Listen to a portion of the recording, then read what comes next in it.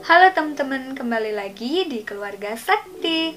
Kali ini Ute mau share tentang testimoni Ute menggunakan BPJS teman-teman. BPJS Kesehatan ya. BPJS Kesehatan. Kemarin saat Ute diminta untuk tindakan kuret setelah Ute mengalami keguguran Ute di ditanyain tentang uh, apakah Ute memiliki kartu BPJS atau enggak. Dan alhamdulillah waktu itu tuh uh, Ute kan sempat kerja ya dan dibuatkan BPJS kesehatan. Jadi Ute Ute punya teman-teman Ute punya kartu BPJS-nya dan Ute bilang gitu uh, bidan uh, ke bidannya gitu Bu uh, saya punya gitu. Terus dicek gitu kan masih aktif juga. Dan alhamdulillah hmm, tindakan kuretase Ute itu benar-benar 100% di cover sama BPJS kesehatan teman-teman uh, pos jadi uh, saran UT nanti kalau misalkan kalian yang nonton video ini dan masih belum mempunyai kartu BPJS kemudian kalian punya apa ya punya riwayat sakit atau untuk yang perempuan dan udah menikah pasti kan uh, apa ya akan ada kemungkinan kita uh, ini ya melahirkan gitu kan.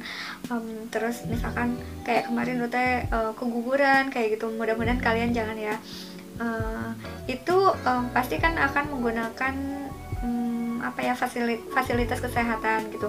Dan alhamdulillah teman-teman dengan kita menggunakan eh dengan kita ikut kepesertaan kepesertaan BPJS kesehatan itu benar-benar ditanggung biayanya teman-teman. Tapi dengan catatan um, kita tetap aktif bayarnya ya teman-teman. Tetap aktif bayar um, bayar iuran gitu. Kalau misalkan kita um, mampunya cuma untuk kelas 3 ya udah nggak apa-apa gitu. Nanti kalau misalkan kalian pas amit-amit menggunakan uh, itu gitu karena kalian uh, sakit atau apa kalian misalkan nggak nyaman di di kamar yang kelas 3 kalian bisa minta uh, naik ke kelas 2 gitu. Jadi paling nanti uh, yang yang apa ya naik kelasnya itu yang yang kita bayar gitu. Sisanya itu biasanya di cover oleh BPJS tapi uh, dengan catatan uh, tidak semua ya tidak semua jenis apa ya jenis sakit itu di cover BPJS tapi untuk uh, untuk tindakan kuret yang kemarin udah alami itu alhamdulillah di cover semuanya oleh BPJS teman-teman. Kayak gitu Nah, uh, di sini tuh uh, Ute ngerasain banget manfaatnya BPJS kesehatan teman-teman. Sebelumnya itu kan kayak Ute kayak um, apa ya ogah-ogahan gitu, ogah-ogahan buat apa sih gitu kan? Kan kita sehat-sehat aja gitu. Ternyata kan setelah menikah gitu, Ute nggak tahu gitu kan. Uh, akan mengalami keguguran terus mungkin nanti kalau melahirkan juga um, akan menggunakan fasilitas kesehatan juga kan. Jadi Ute nggak kepikiran sampai di situ gitu. Alhamdulillahnya Ute punya teman-teman Ute punya dan Ute aktif masih aktif juga gitu. Jadi hmm, kemarin bener-bener digunain dan kalau misalkan Ute nggak punya kartu BPJS kesehatan itu tindakan koretase itu sekitar uh, 3 jutaan teman-teman 3 jutaan. Jadi kan lumayan ya gitu. Kalaupun um, apa ya kalaupun kartu BPJS kita itu nggak nggak kita gunakan kita niat kita niatkan uh, subsidi silang teman-teman. Karena di luar sana pasti banyak yang uh, sakit gitu banyak yang sakit dan membutuhkan biaya yang besar gitu. Dengan kita mengikuti BPJS kesehatan ini kita juga ikut um, apa ya menyumbang dana gitu menyumbang dana. Jadi subsidi silang ketika kita sehat gitu kan uh, di luaran sana banyak yang sakit. Jadi dana yang kita uh, setorkan itu um, digunakan untuk pengobatan uh, saudara kita yang lagi sakit kayak gitu. Ya kita berdoanya jangan sampai kita yang sakit teman-teman. Seperti itu ya uh, konsepnya kayak gitu. Jadi uh, OT juga kayak kemarin gitu uh, selama ini kan uh, kita setor ya setor gitu. Terus uh, Hmm, ya kapan digunainnya ya? Emang kalian mau kan enggak gitu kan? Cuman kemarin karena udah keguguran terus jadinya si kartu tersebut uh, di apa ya terpakai gitu. Terus jadi udah oh ini gitu kan. Uh, ini keuntungannya kita kita uh, menggunakan um, BPJS kesehatan gitu. Jadi ketika kita misalkan uh, dananya lagi terbatas kayak gitu terus uh, ada BPJS kesehatan seperti itu teman-teman Nah, gimana sih syarat-syaratnya? Nah, sebelumnya UT mm, menyangka kalau misalkan mm, apa ya penggunaan kartu BPJS itu akan ribet gitu, akan ribet. Jadi kayak selama ini tuh aduh males banget ngurusin BPJS gitu. Nah, ternyata kemarin saat UT keguguran itu dan di di apa ya di diminta untuk kuret itu uh, nggak ada administrasi yang membuat kita apa ya ribet banget ngurusinnya gitu. Jadi di situ tuh cuma diminta fotokopi BPJS 2 sebanyak dua salinan. Terus fotokopi keluarga uh, satu satu salinan kalau nggak salah. Terus hmm, buku nikah uh, sama fotokopi KTP suami istri kalau misalkan kalian sudah menikah gitu. Pokoknya yang jagain sih sebenarnya.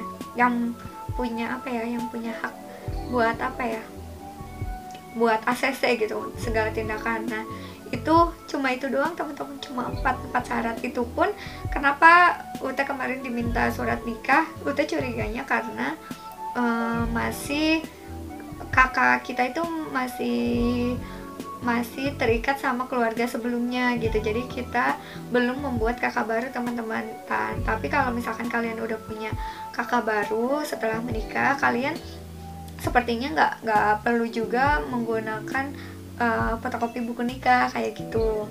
Cuman karena kemarin hmm, kakak yang dipakai itu kakak yang UT yang masih masih uh, bersatu sama keluarga UT sebelumnya gitu. Jadi ini jadi uh, buku nikahnya diperlukan seperti itu teman-teman terus di bagian administrasi juga nggak nggak yang apa ya nggak yang ini harus ini harus oh gimana gitu nggak.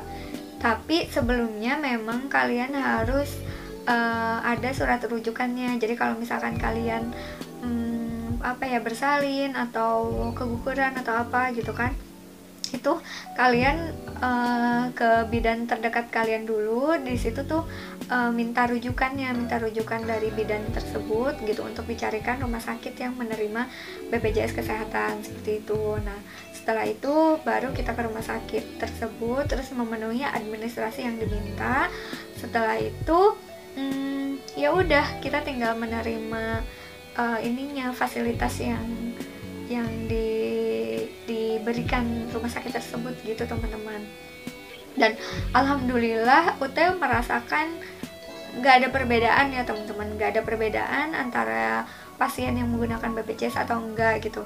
Kemarin UT benar-benar dilayani dengan baik dan nggak ada diskriminasi. Apakah karena UT menggunakan BPJS kelas 3 lah atau kelas 2 atau kelas 1 akhirnya dibedakan gitu. Nggak ada teman-teman.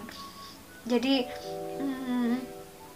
apa ya benar-benar ini sih benar-benar bersyukur juga gitu. Posisinya kan ya kita kan baru berumah tangga gitu terus kondisi keuangannya juga jadi apa ya masih namanya juga masih rumah tangga baru ya teman-teman baru melangkah kayak gitu. Terus tiba-tiba udah keguguran itu bener-bener kayak membantu banget gitu alhamdulillah gitu.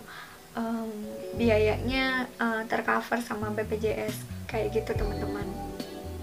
Nah, jadi gimana kalau misalkan kita udah punya kartu BPJS tapi eh, nggak uh, tahu aktif atau enggak. Nah, nanti juga sama bidannya itu di dicek teman-teman apakah masih aktif atau enggak dan kalau nggak salah sih kalaupun udah nggak aktif biasanya kita diminta buat bayar dulu gitu. Buat bayar dulu uh, kayak sisanya eh maksudnya tagihannya gitu, tagihannya yang yang belum dibayar. Misalkan kita nunggak berapa bulan seperti itu kayak gitu. Dan kemarin pun mm, apa ya nggak diburu-buru gitu. Misalkan karena karena BPJS-nya belum lengkap persyaratannya terus si pasien ditelantarkan nggak kayak gitu teman-teman. Jadi bener-bener uh, kalaupun persyaratannya belum belum terpenuhi kita masih tetap di apa ya dilayani juga kok teman-teman. Karena kan uh, ini terkait apa ya kesehatan seseorang gitu kesehatan nyawa seseorang kayak gitu. Jadi rumah sakit juga um, masih punya apa ya nurani gitu kan masih punya nurani terus UT dilayani dengan baik juga. Sementara UT apa ya di kuret juga persyaratan itu belum ter, terpenuhi semua gitu. Jadi setelah kuret baru Pak Kaji ke rumah buat bawa persyaratannya dan baru deh ngasih persyaratan itu. Gitu. Hmm, apalagi ya? Hmm, kayak gitu sih testimoni dari Uta. Jadi nggak nggak seribet yang Uta bayangkan sumpah. Jadi hmm, buat temen-temen ya sekali lagi kalau misalkan kalian punya riwayat uh, sakit kayak gitu. Saya sarankan sih uh, ikut uh, BPJS at BPJS kesehatan atau asuransi kesehatan yang lain kayak gitu. Cuman kalau misalkan um, dananya nggak terlalu banyak itu budgetnya ya udah kalian ikut aja BPJS kesehatan. Kalian bisa ikut yang kelas 3 teman-teman. Atau kalau misalkan kalian yang kurang mampu kalian bisa uh, mengurus ke apa ya ke pemerintah setempat mungkin ke kelurahan atau desa gitu diminta uh, didaftarkan untuk uh, eh, BPJS yang uh, ditanggung pemerintah. Jadi 100% nggak bayar teman-teman gitu. Nggak ada iuran sama sekali. Kayak gitu teman-teman. Jadi nggak ada alasan ya kalau misalkan kita sakit atau apa gitu. Terus uh, kita nggak bisa menikmati fasilitas kesehatan gara-gara kita nggak terdaftar gitu. Jadi sebelum sebelum kita sakit alangkah lebih baiknya kita apa ya persiapkan dulu gitu. Maksudnya persiapkan itu bukan berarti kita berdoa supaya sakit ya teman-teman. Ini untuk uh, apa ya jaga-jaga gitu. Kalau misalkan kita uh, sakit atau apa gitu. Kalau misalkan kita udah punya hmm, apa ya udah punya jaminan jaminan fasilitas kesehatan ketika ketika kita sakit kan enak ya teman-teman. Jadi pas kita sakit kita nggak nggak bingung lagi biayanya dari mana gitu kan. Karena kita nggak pernah tahu kondisi kita di masa depan kayak gimana kondisi keuangan kita kayak gimana gitu. Jadi ya saran teh segera diurus teman-teman BPJS-nya kayak gitu ya.